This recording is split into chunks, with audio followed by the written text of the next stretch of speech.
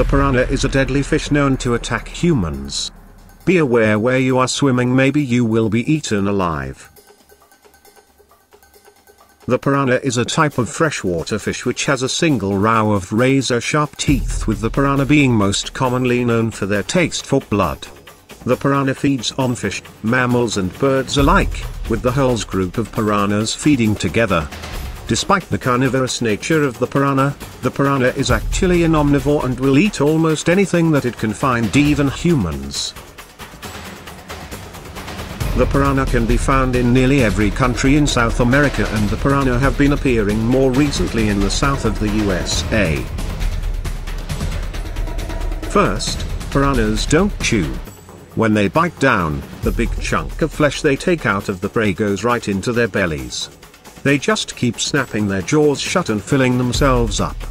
Next, that type of task is accomplished by hundreds of piranhas, not just the typical school size of 20, and piranhas are very efficient team eaters.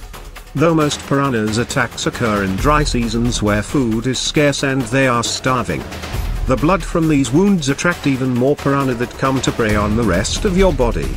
If you're not eaten alive, you can bleed to death from all the bites you'll sustain throughout your body. In order to survive or prevent you must follow these precautions, get familiar with piranha territory. Avoid swimming with piranhas in the dry seasons, due to scarce of food and shallow water. Wait until night to enter the water, for the fact that piranhas hunt in the day and sleeps at night. Stay out of the water if you have an open, bleeding wound.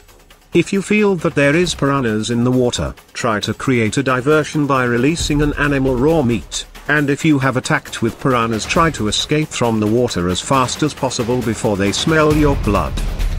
Did you know? Scientists have discovered that piranhas communicate with sound when they feel under threat.